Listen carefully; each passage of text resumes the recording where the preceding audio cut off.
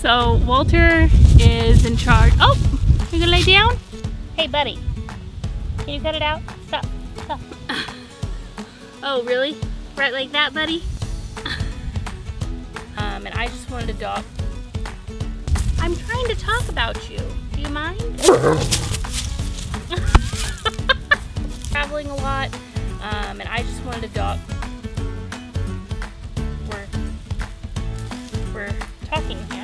And well, okay. You gonna tummy rub?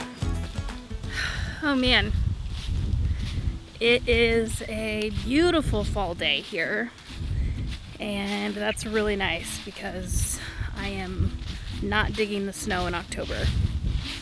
Oh my gosh. I don't know if you can hear this, but the crunch of the leaves.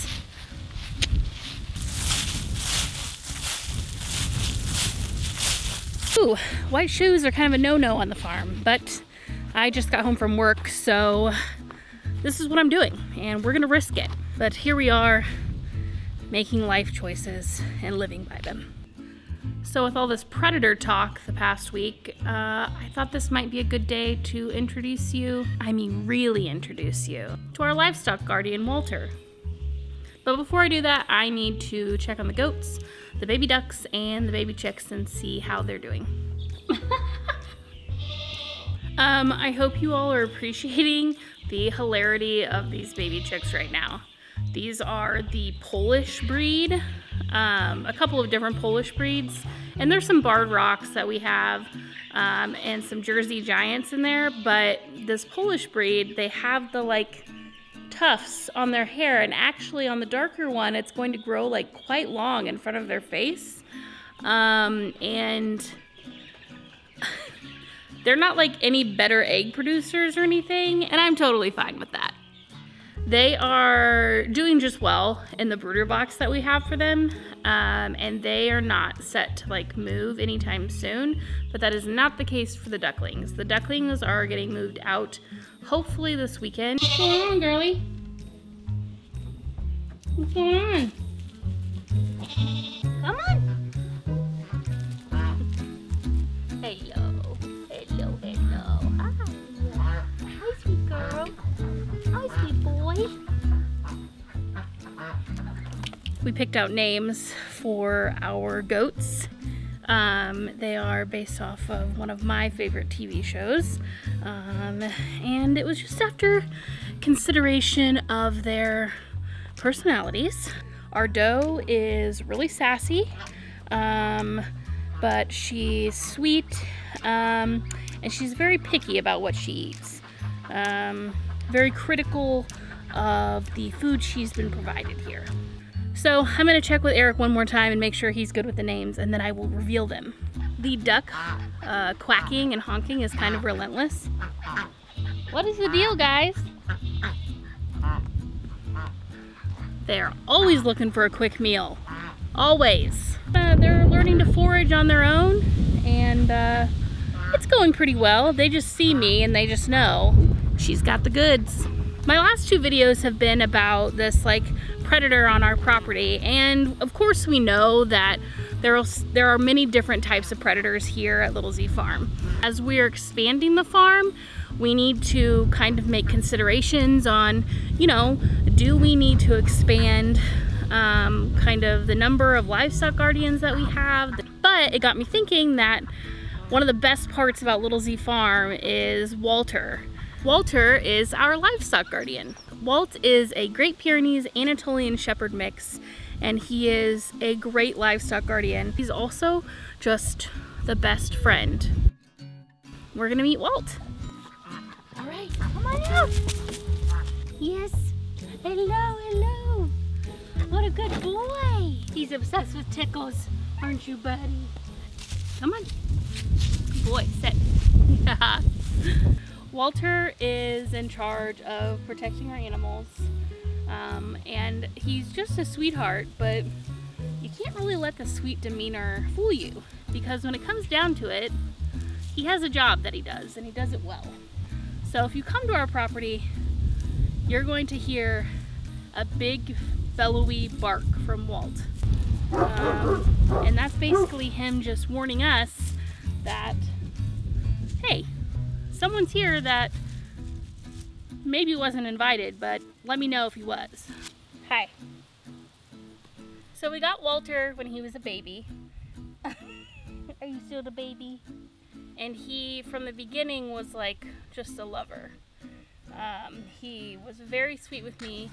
You know, originally when we got him, we wanted him to be a livestock guardian for the chickens, but we also wanted some extra protection for me. At that time, Eric was traveling a lot, um, and I just wanted a dog. Walter. He was there for our first flock of chickens that he protected wholeheartedly.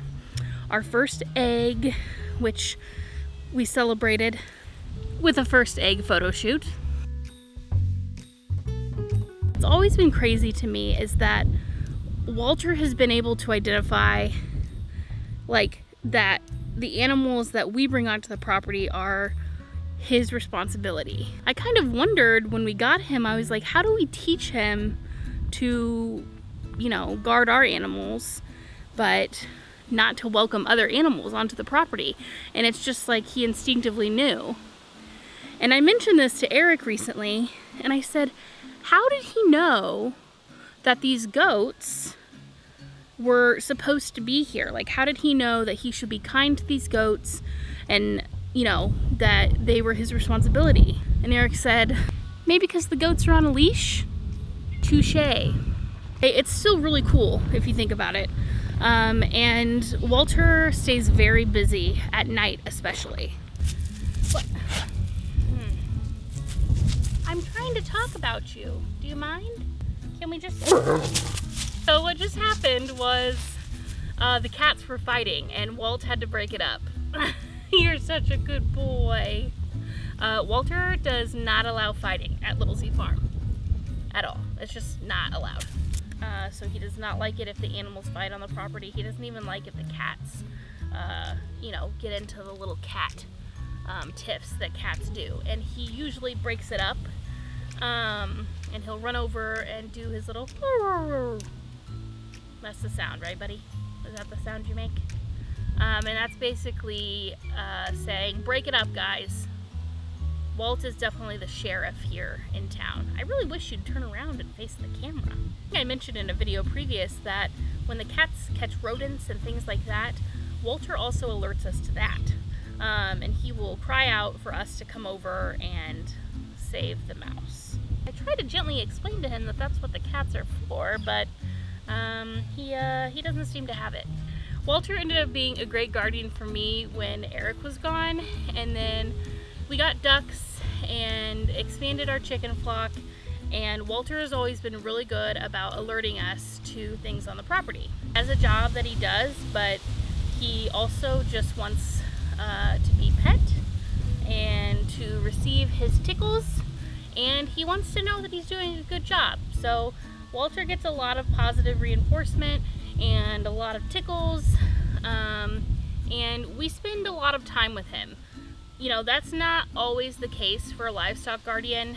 Um, we don't have a lot of protecting for Walter to do right now, even though his responsibilities just increased with the goats.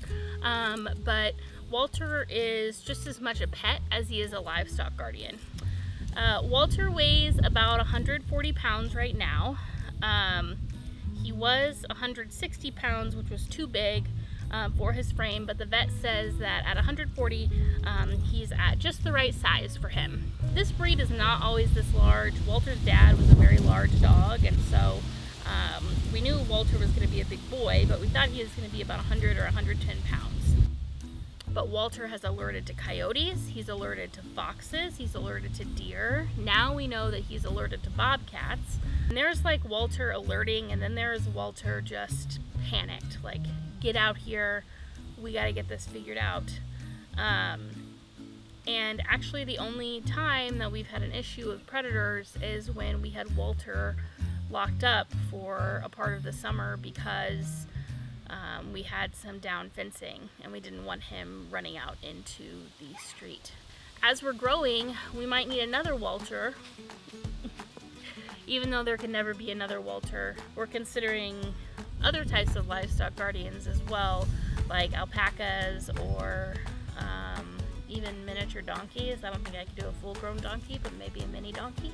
I just wanted to introduce everyone to Sweet Walter because um, as we make more videos, he's probably the pup that you'll see the most of.